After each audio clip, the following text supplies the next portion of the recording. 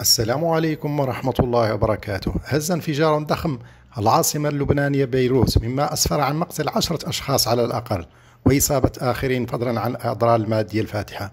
وتفيد التقارير الواردة من بيروت بأن الانفجار وقع في منطقة مرفأ بيروت كما أفادت تقارير غير مؤكدة بوقوع انفجار ثاني.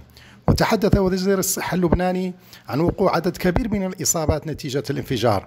ونسبت وكالة الأنباء رويترز إلى مصادر قولها إن عشرة أشخاص قد انتشرت من من بين الركام.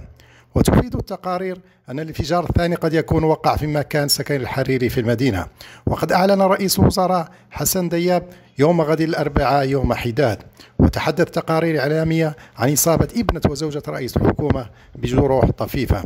وعرضت وسائل الإعلام المحلية صورا لأشخاص عالقين تحت الأنقاض وصف شاهد عيال الانفجار الأول بأنه يصم الآذان من شدته وأظهرت لقطات فيديو سيارات محطمة ومباني متضررة.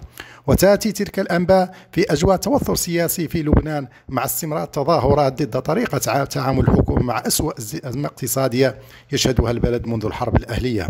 كما يأتي انفجار وقت يتسم بالحساسية قبل ثلاثة أيام من النطق بالحكم النهائي في قضية اغتيال رئيس وزراء لبنان السابق رفيق الحريري. يذكر أن محكمة الأمم المتحدة على وشك إصدار حكمها في المحاكمة الغيابية لأربعة أشخاص مشتبه بهم في اغتيال الحريري عن طريق سيارة مفخخة.